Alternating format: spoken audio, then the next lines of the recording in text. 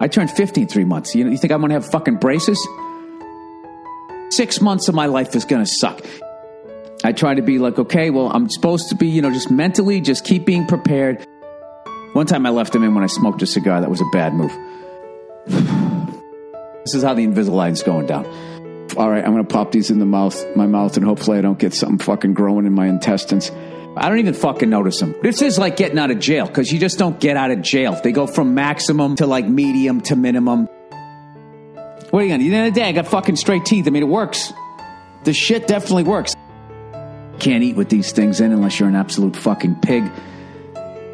A fucking Invisalign. Guy's a great dentist. Okay, you know, could have been a little more straightforward about how long this was gonna fucking take. Why didn't I take it? I forgot to take the fucking shit out. Why am I being such a jerk because of my fucking Invisalign?